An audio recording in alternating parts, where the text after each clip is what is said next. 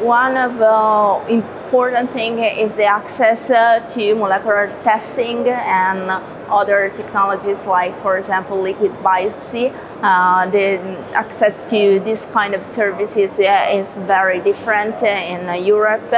Also, for example, the access to oncofertility services, uh, so that is uh, really uh, not very widespread. Um, there are several unmet needs uh, uh, for a patient perspective that still needs to be addressed.